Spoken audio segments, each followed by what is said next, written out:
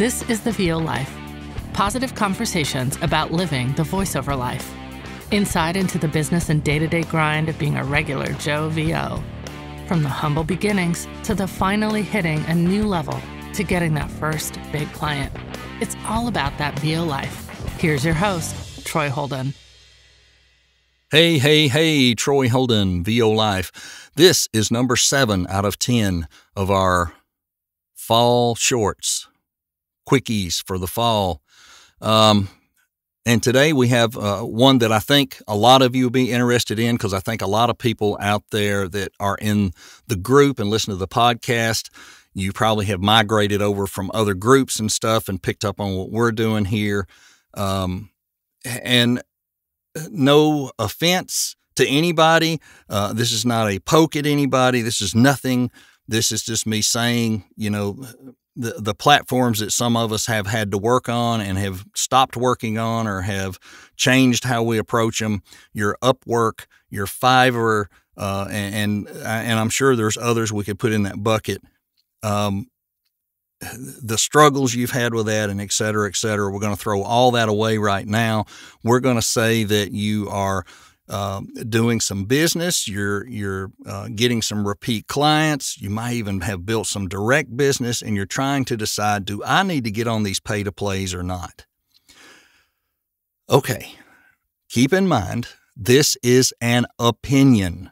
Please do not get mad at me if this does not go along with what you believe or what you think. It's okay because this is just me saying, had I known what I known then and what I know now, and da da da da, oh my gosh, I'd have done everything differently. I never would have gotten on uh, the sites I got on. I would have somehow found a way to save money and invest and do this in silence at home and study and study and study and coach and coach and coach. And then when I was ready, I would have went and got on these pay to plays. Um, I got on voices.com within six months after I started VO.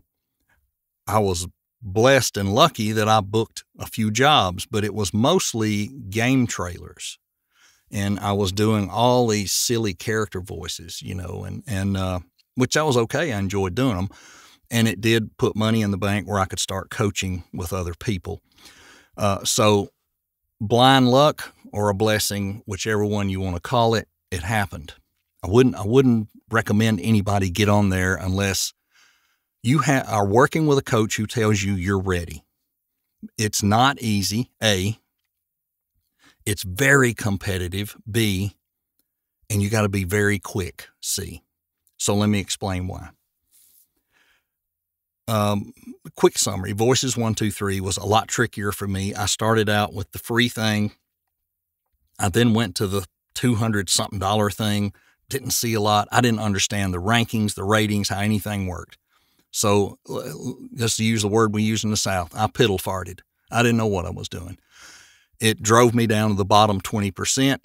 Uh, I went to VO Atlanta, uh, came back after that, talked to some people about it, got the course, upped it to the $800 membership, worked hard to pull out of that hole, and I finally got it up to the bottom 50%. And I started seeing more auditions, started getting likes more, and, and I understood how it worked. If you're going to go on something like that, you need to understand that before you go on so you don't screw up on the front end and tank yourself because there, there, it's hard to come back from that. It took me a long time, months and months, to come back from that, and I'm still not totally back. I'm still in the bottom 50. I haven't gotten to that top 20 or or top 40, and that is when I probably need to up my game to platinum. That's a lot of money, but from what I see and hear, it's worth it.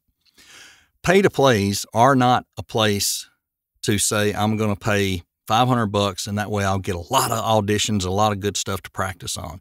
Well, it also if you're there people are hearing you and you're not doing a good job and your audio might be bad, you're you're quote unquote blackballing yourself because they're hearing the worst of the worst and when you come back later like, "Oh, it's that guy again. I'm not even going to listen." You know, eh, that can happen.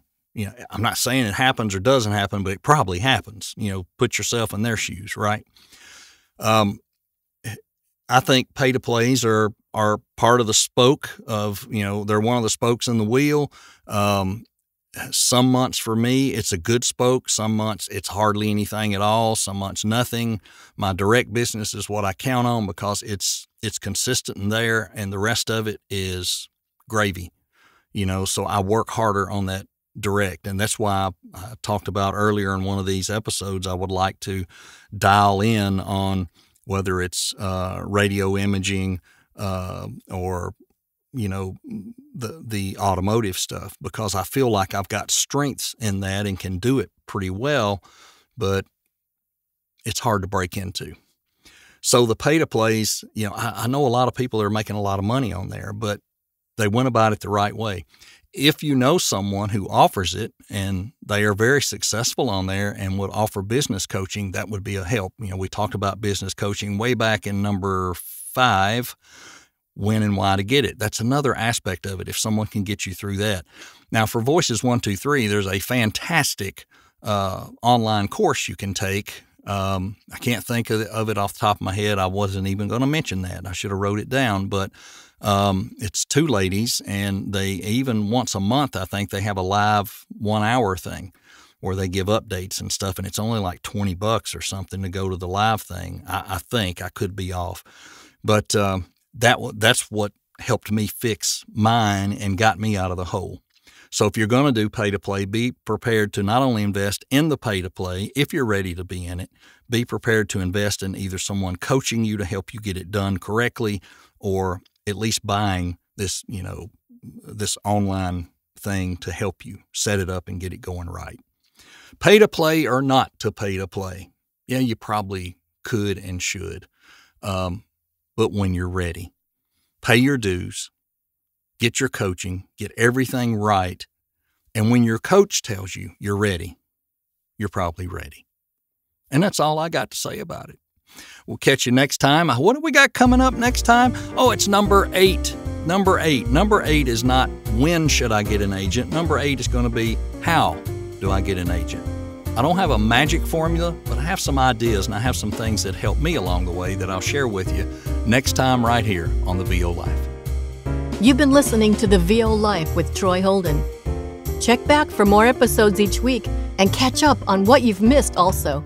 This is for you, those just living that VO life. Thanks for listening and join us again.